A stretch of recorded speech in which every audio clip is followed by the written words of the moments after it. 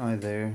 Today I got the Arduino Pilot APM 2.8 from Qualified Boy and it's not being recognized from the computer. So I just this is a video to show the Qualified Boy that that it is not being uh, recognized.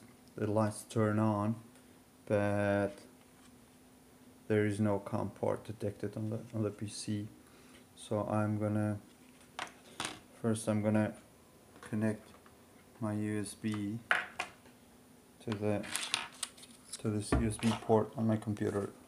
Sorry I can't hold my phone with one hand. I have to do it with one hand.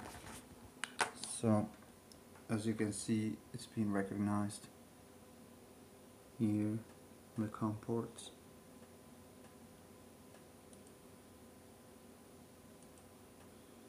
Sorry speed device and here as you can see.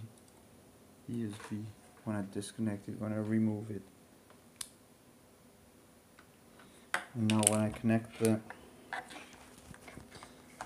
the APM sorry. Now when I connect the APM lights turn on but the COM port is not detected on the PC as you can see nothing on the COM ports here.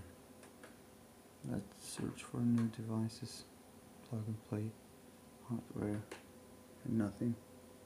I also tried with Arduino IDE software. It's not being detected and also with mission planner. So let's go to tools and serial port. No COM port except for the port 1 which is the default one. Let's try the mission planner as well. And here no COM port detected as well. But the lights turn on and flashing lights they somehow work. But it appears to be a faulty device. So that will be it. Thank you